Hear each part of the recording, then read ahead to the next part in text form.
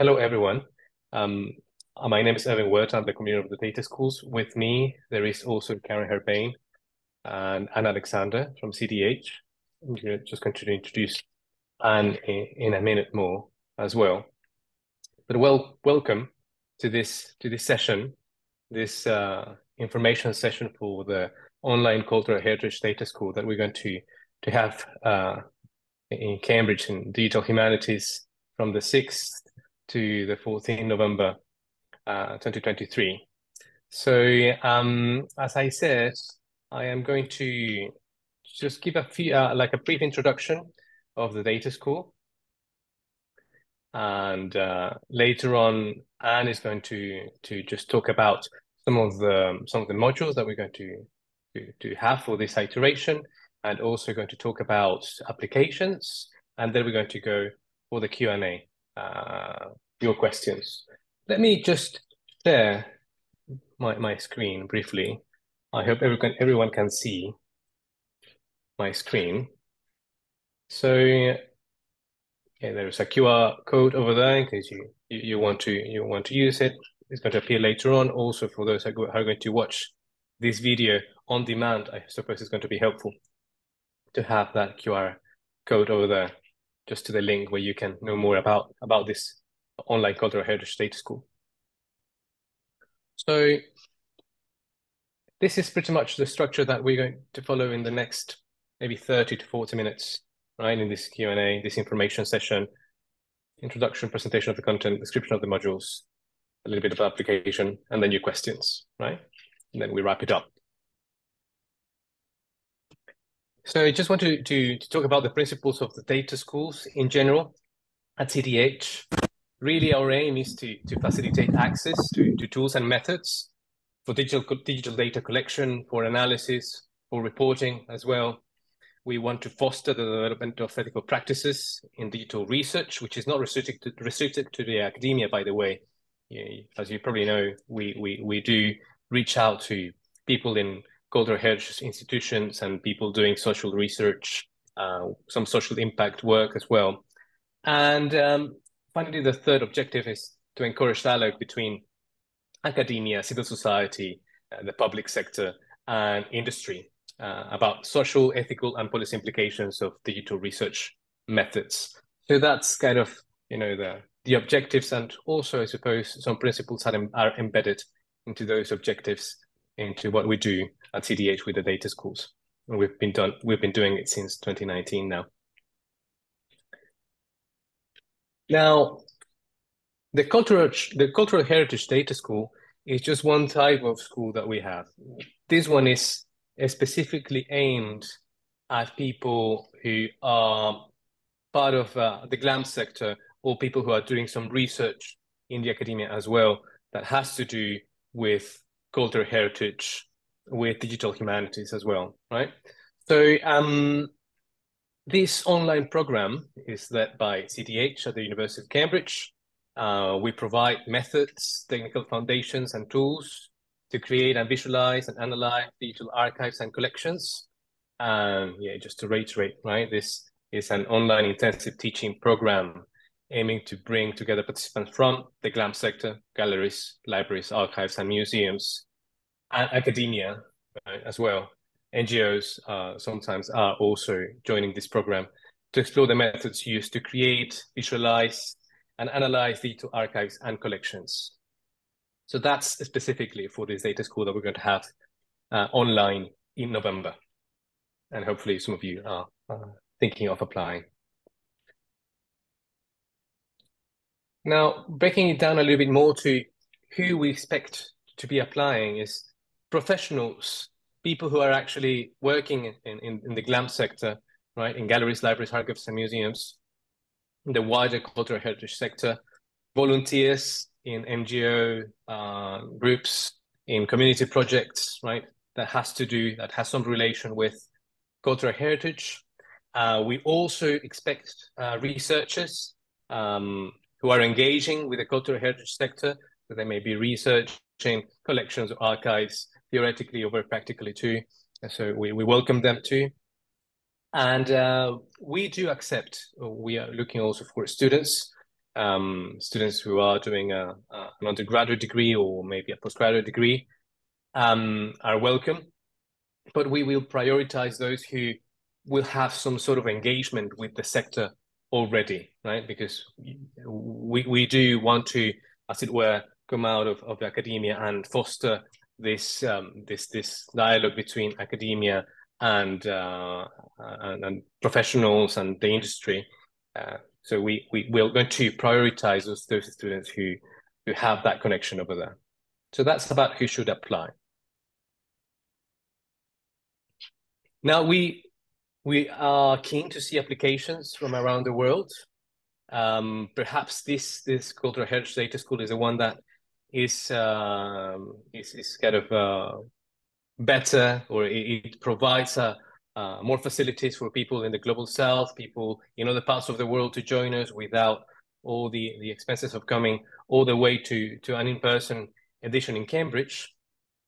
But yeah, we, we do need you to to to to have the, the time to to join us, right? So you, you need to be able to participate in live sessions.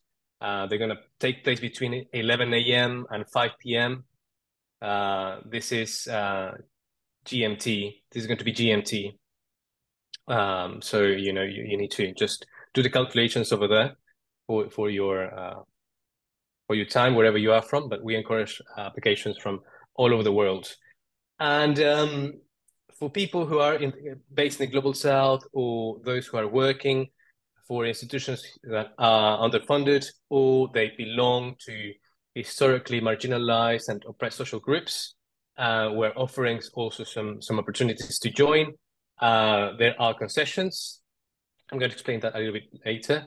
And there are also bursaries. A concession is a reduced price. A bursary is no fee for those who are going to be applying for bursaries, but we have limited limited places for those. Just actually the next point, right?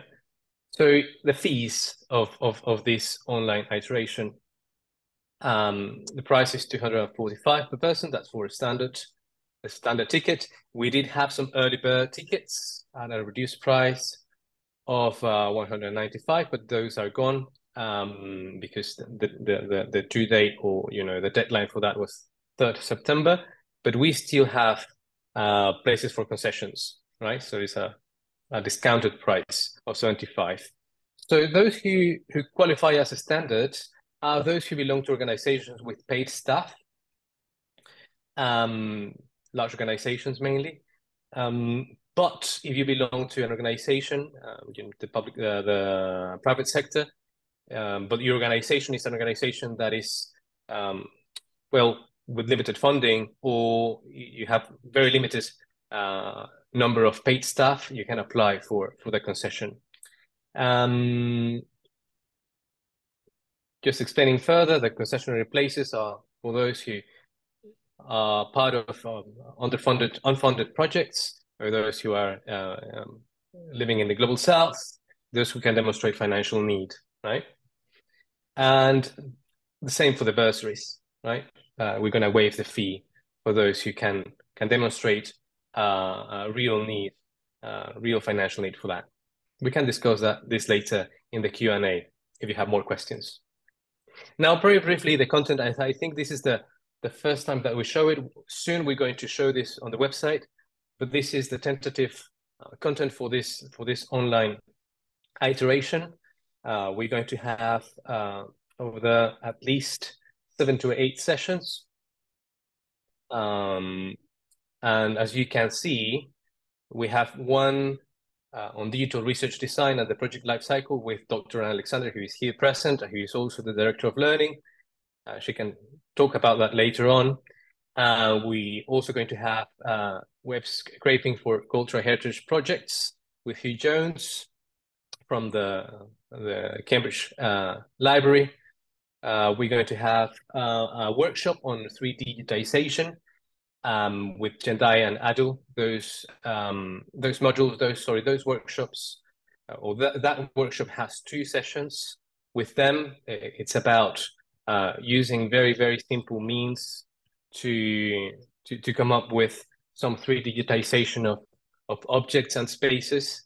and then how to refine some of that using using uh, uh, some some software, uh, particularly Blender. Um, probably Anne can can tell us a little bit more about it too. We're going to have another session uh, on digital archives and communities in crisis.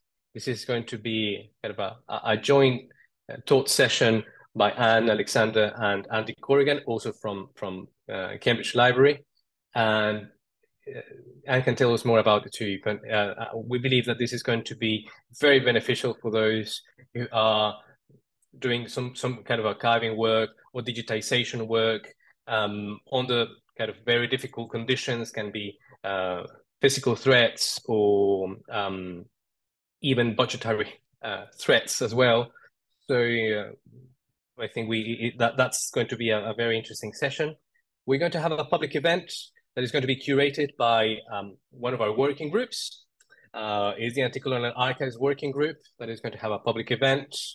So that's uh, uh as the name you know uh, refers to it.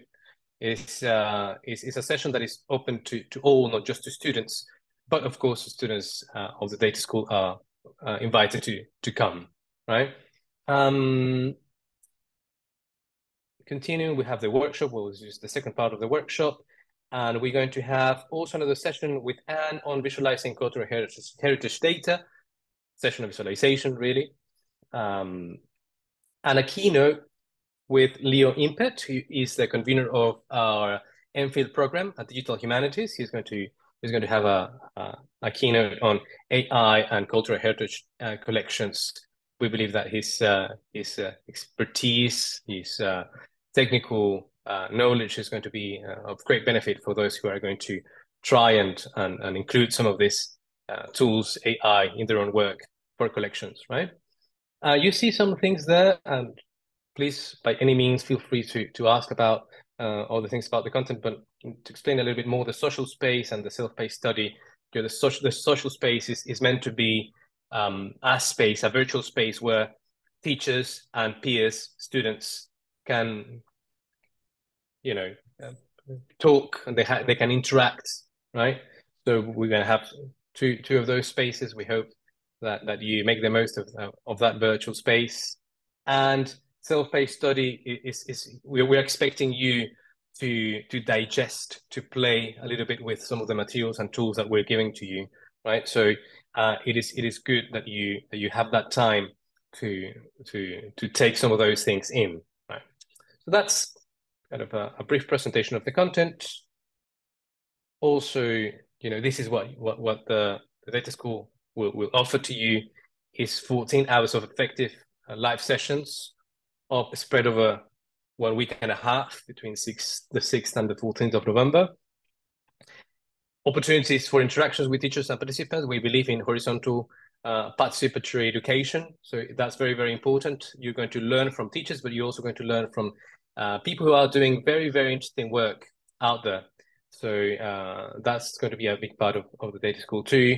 Materials, tutorials, resources are going to be accessible online, um, which is, is going to be part of uh, the virtual learning environment that, that we use uh, in Cambridge. But you're going to have, you're going to have access to to all of that, um, including software requirements um, as well uh, and all that is going to be available for you at least two weeks before the, the data school commences. And you're also going to have um, the possibility of um, having a troubleshooting session with uh, people from CDH in case you have any, any any problems in installing something or you, you get an error doing something. So you're also going to get that. We know that uh, sometimes learning in a virtual environment, mainly in online education as it is uh, the model of the of this data school is a bit difficult. So the troubleshooting session becomes uh, a very important part as well.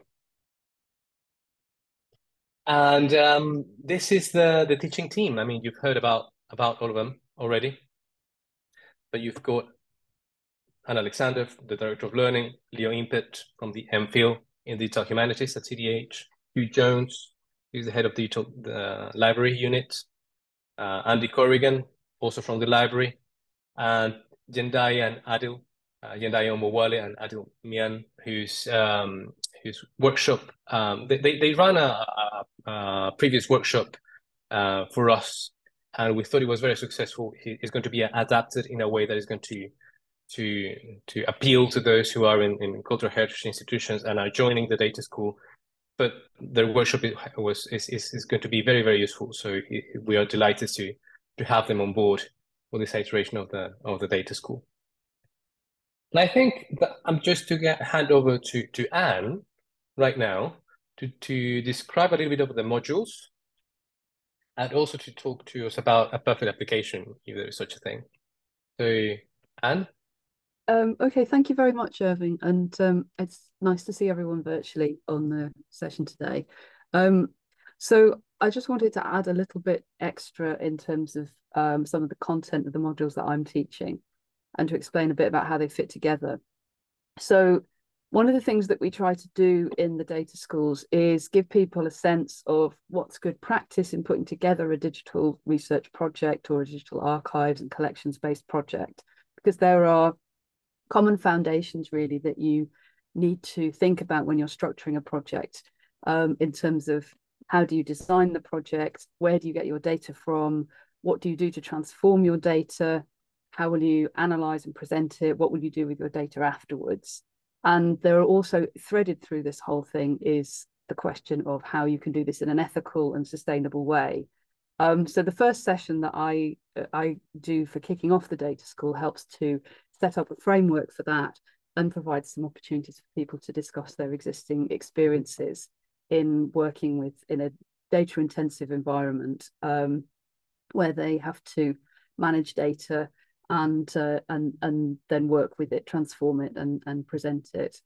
Um, as you'll see, there is a, a, kind of flow throughout the, the the course of the week where we start off with the research design questions and then we're getting on to the to the modules that will be about presenting the data for uh, communicating with your data like the visualization module that I run towards the end of it and embedded in that are also other some of the other thematic modules this I should say this doesn't mean that you have to apply with a specific project in mind. It may be that you want to learn the general principles or you're going thinking about exploring perhaps a collection that you're you're you know in the institution where you work um, or you have an idea for something that's fairly incipient and you want to get some um, uh, you know an experience of uh, of how to design this kind of project. So please don't feel that you have to come with a with a ready worked out idea. And in fact quite a lot of people who attend the data school are still at a fairly early stage in conceptualizing a um, a, a, a, a digital project of their own. Um, in terms of the, there are some other elements where we'll be looking at, um, so for example, the session that we're running on digital archives and communities in crisis will put some of the the principles that we've explained about how you might uh, create a digital research project or you might set about building a, a, a new digital archive into a context where you might be working in a low resource environment, or you might be working under constraints, for example, in the aftermath of a natural disaster, and you're engaged in a community archiving project, or you might be working with communities that are uh, oppressed or marginalized, maybe have limited access to state resources or public funds, or are working in an environment where um, you know they face perhaps active hostility from uh, uh from the state. Um, so think about the purpose of archives and the practice of digital archiving in a in a in a critical way through this through through this lens um, and that will feed in a little bit to some of the themes that we're likely to discuss in the um, uh, in the public event with the anti-colonial archives working group. Um, we'll be unveiling a bit more about that uh, in um, uh, in the next few weeks hopefully. Um, Jendayo and Adil Mian's workshop uh, also has some similar themes because they have experience in teaching um, digitize it 3D digitization um, in a workshop that was aimed at global majority uh, people of, of, global majority heritage, um, learning digitization methods and, and, broadening access to what are often quite resource intensive and uh, expensive methods to use. So it will the 3D digitization project that they will show you how to build involves you, you require a mobile phone camera, you require um, access to software that is open source and free to and free to download. Uh, uh, and so on and so forth. Um, in terms of um, the perfect application, um, there isn't really a perfect application, um, but the kinds of things that we're looking for is that we would like you to tell us, um, firstly, to show that you why it is you feel that the content that we're offering in the school um, fits to fits with your needs, what you will get out of it uh, in, individually, how it fits with how you want to develop your career or your skills, uh, how it fits with the project that you're in, you're engaged with. Um, so the more detail you can put in on this, uh, uh, on this, the better. We can't second guess if you write a very short application. It's there is a word limit, obviously, um, but you know the more that you uh, generally applications um, do badly if people don't write very much because we can't tell whether you've actually worked out that there is a proper fit between your needs and uh, what we're offering in the in in the data school. Um, other things that we are interested in seeing in applications, as Irving mentioned, um, this is not a general digital humanities um, training training school. It's actually specifically for people who have an engagement with the cultural heritage sector. Now that doesn't have to be with a paid role or a formal uh, role with a cultural heritage institution. It could could be because uh, you know you're involved. It's a place where you want to work, and you you know you can demonstrate that you're seriously uh, taking your career in that direction or you could have a volunteer role you could be part of an unfunded or community project and so on uh, uh, uh, and so forth um, it's so therefore if you are a researcher or a postgraduate student for example or an undergraduate student we're more likely to prioritize your application if you show this active engagement with the sector um, so rather than concentrating on you know something that has more more purely research or academic um, goals in mind. Uh, if you have a, a, partnership with a museum or with a community heritage project uh, or something like that, and you can tell us about it in your application, that will definitely uh, definitely help your your case. Um, in terms of um, the other the other things that we are likely to prioritize is if you can tell us about how uh, other people in your wider networks might benefit from you attending the school. This is particularly if you are applying for a concession place or a bursary place. If you, for example, are applying as part of a project, um, you know, where you would be able to pass on the skills that you've learned to other people, or you're from a community, from a, a, a region where there's very few people have this have access to this kind of training. This is something that will help um, help us make a decision in terms of uh, and we and we will prioritize applications that can demonstrate this um, the general overview in terms of application writing is is as i said um, it's better to write more than than than less um, and that most of the applications that we uh, you know find hard to include are ones that are very short um, so the the the more detail you can put in the the the, the better um, I think I'll stop there because we've got time for questions. And so please come back if there's anything else you want to know.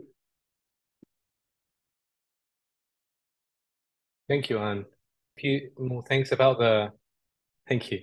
Uh, I can say a few more things about the, uh, just some brief technical requirements. Of course, you need a really a, a good internet connection for video calls. Uh, you need a laptop or desktop to, to connect. These are just uh, some of the, this, the, the, the software requirements that you that you you'll need, of course, Zoom for, for the calls. Uh, we're gonna use Blender and Meshroom as well, and more to be confirmed. You're gonna you're gonna get the the full list of, of, of software requirements once you you're, you're enrolled, and there are, I mean, at least two weeks before the data school starts. And just important dates, of course, right, for, for this Cultural Heritage School. Uh, the deadline for applications is 1st October 2023. And um, the data school itself from the 6th to the 14th of November, right? So in the middle, you get access to the virtual learning environment. You get access to um, also the, um, the full list of software uh, and you know you can interact uh, already as well with other with other students uh, around those dates. So we we we we wait or we expect we hope that you uh, that you apply that you found this this information uh, session useful And yeah, we wait for, for your applications.